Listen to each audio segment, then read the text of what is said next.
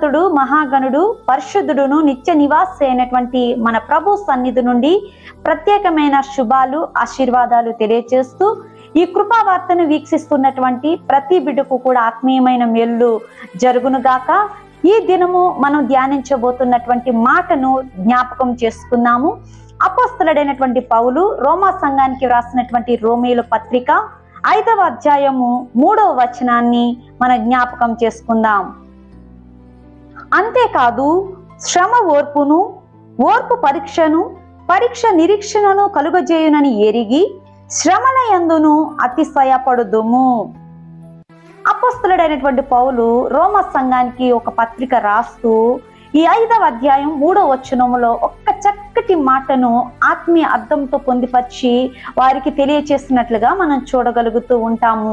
ఇక్కడ మనం చూస్తున్నట్లయితే అంతేకాదు శ్రమ ఓర్పును ఓర్పు పరీక్షను పరీక్ష నిరీక్షణను కలుగజేయనని ఎరిగి మనము శ్రమల యందు అతిశయపడొద్దుము అనేటువంటి మాటను ఇక్కడ అపోస్తలుడైన పౌలు రోమా సంఘానికి వ్రాసారు అయితే ఇక్కడ ప్రభువు నిన్ను నన్ను ఈ దినాన దర్శించబోతున్నటువంటి అంశం ఏంటనగా శ్రమలలో దా కొనసాగినటువంటి ఆశీర్వాదాన్ని ప్రభు ఈ దినాన్న నీకు తెలియజేస్తూ ఉన్నాడు.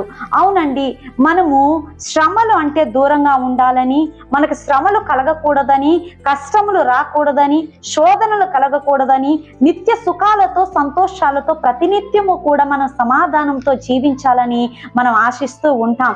కానీ ఇక్కడ పరిశుద్ధాత్మ ప్రేరణతో వ్రాయబడినటువంటి మాటను మనం ధ్యానించినట్లయితే ప్రభువే చెబుతూ ఉన్నాడు. ఏంటనంటే శ్రమ ఓర్పును ఓర్పు పరీక్షను పరీక్ష నిరీక్షణను చేయనని ఎరిగి శ్రమల ఎందును కూడా అతిశయపడుదుము అనేటువంటి మాట. మనం దేని ఎందు అతిశయపడతాము అని అంటే ప్రతి దినము మనము కలిగి ఉన్నటువంటి సంపదను బట్టి అతిశయపడతాము. మనము కలిగి ఉన్నటువంటి భోగ భాగ్యాలను బట్టి అతిశయపడతాము. మనకు కలిగి ఉన్నటువంటి అర్హతలను బట్టి అతిశయపడతాము. మనకు కలిగి ఉన్నటువంటి అనేక రకాలైనటువంటి ఆధిక్యతలను బట్టి అతిశయపడతాం. కానీ ప్రభు ఏం చెప్తున్నారనంటే శ్రమల ఎందును అతిశయపడుడి అనేటువంటి మాట చెబుతూ ఉన్నారు.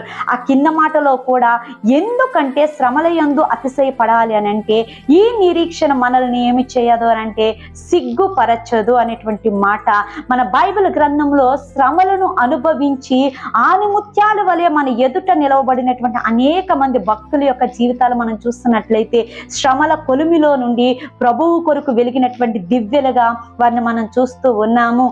మరి ఉదాహరణకు మనం చూస్తున్నట్లయితే యోకేబేదును మనం చూస్తాము యోకేబేద జీవితంలో ఆమె అనుభవించినటువంటి శ్రమ ఇంత అంత కాదండి.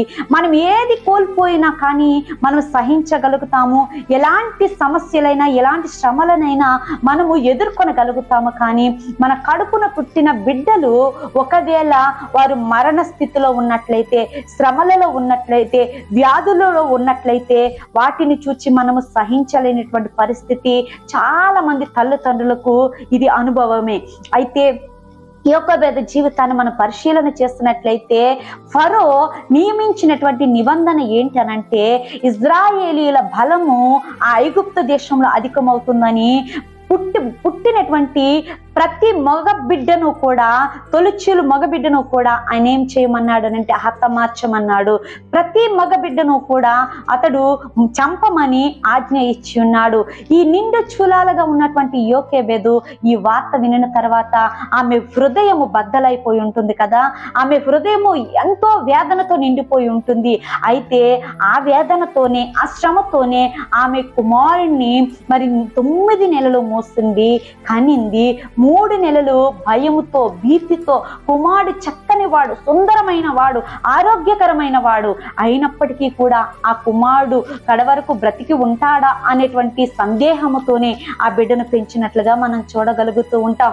అలాగనే నైలు నదిలో ఆ జమ్ము పెట్టెలో మరి ఆ మోషేని పెట్టి ఆ నైలు నదిలో వదిలినప్పుడు కూడా ఆమె ఎంత సందిగ్ధంలో ఎంత దుఃఖంలో ఉండి ఉంటుందో ఈ కుమారుడు బ్రతికి ఉంటాడా అనేటువంటి మళ్ళా నేను పోగొట్టుకున్నది నా దగ్గరికి రాదేమో అనేటువంటి మరి ఆశలు వదులుకున్నటువంటి పరిస్థితుల్లో యోగ్యభేదులు మనం చూడగలుగుతూ ఉంటాం. కానీ దేవుని కార్యాలు ఆశ్చర్యకరములు. దేవుని కార్యాలు ఉన్నతమైనవి కనుక ఆ యోగ్యభేద పడినటువంటి శ్రమకు ఆ యోగ్యభేద అనుభవించినటువంటి ఆ బాధకు తగిన ప్రతిఫలాన్ని ప్రభు ఇచ్చాడు. ఏ విధంగానంటే మరలా మోషేను యోకేబేదు దగ్గరికి చేర్చి ఆమె చేతులలోనే పెంచబడడానికి ఆమె దగ్గరే ప్రభువు యొక్క మరి శక్తిని ఎరిగి ఉగ్గుపాలతో దేవుని యొక్క మాటలతో పెంచటానికి దేవుడు ఎన్నుకునేటువంటి మోషేను మళ్ళా యోగ్యవేద దగ్గరకు చేర్చాడు. అనేకులను విడిపించటానికి అనేకుల హృదయాలు ప్రభు వైపుకు త్రిప్పబడడానికి ఒక దివ్య వలె మోషే వాడబడ్డాడు. అవునండి ఈ దినాన మనం అనుభవిస్తున్నటువంటి శ్రమలు మనం అనుభవిస్తున్నటువంటి నిందలు మనం అనుభవిస్తున్నటువంటి సమస్యలు మనకి పెద్దవిగా కనిపించవచ్చు. కానీ ప్రభు చెప్తున్నాడు ఏంటంటే శ్రమ కలిగి ఉండటం మేలంటున్నాడు. మరి కీర్తనకాడు నూట పంతొమ్మిదవ కీర్తన అరవై ఏడవ వచనంలో ఏమని చెప్తాడనంటే శ్రమ కలగక మునుపు నేను త్రోవ విడిచి తిని అయితే ఇప్పుడు నేను వాక్యమును అనుసరించి నడుచుకొనుచున్నాను. అదే అధ్యాయంలో డెబ్బై ఒకటో వచనంలో చెప్తాడు నీ కట్టడలు నేను నేర్చుకున్నట్లు శ్రమ కలిగి ఉండుట నాకు మేలాయను అని. ఎంత అద్భుతకరమైనటువంటి అనుభవాలు కదండి.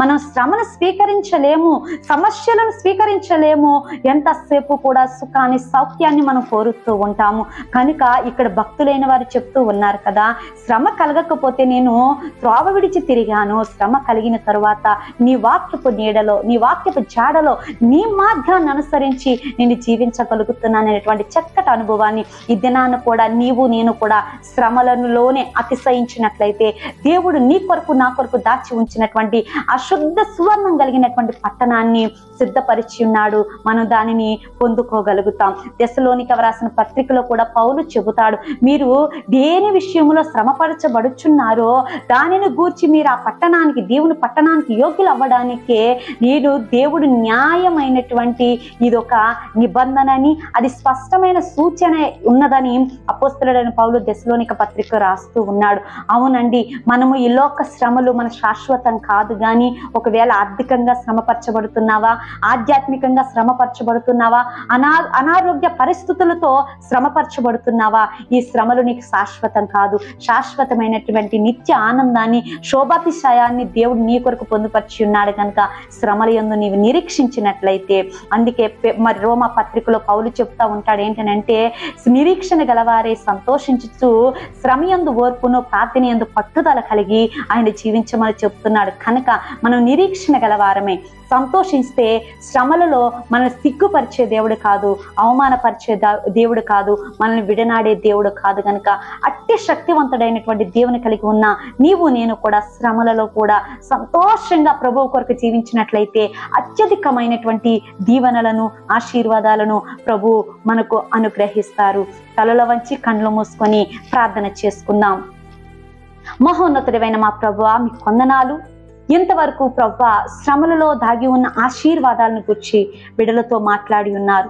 కనుక ప్రతి ఒక్కరూ కూడా ఈ మాటలను హృదయాల్లో పదిలం చేసుకొని వాక్యాన్ని మనసున దాచుకొని ఇదిగో వాక్యానుసారంగా జీవించగలిగినటువంటి కృపను చూపించండి. ఈ ఉదయకాల దీవెనలు ఆశీర్వాదాలు నిండుగా మెండుగా ప్రతి బిడ్డ జీవితంలోనూ మీరు కృమ్మరించమని అడుగుచు. ఏసునామమున ప్రార్థించి పొంది ఉన్నాము తండ్రి.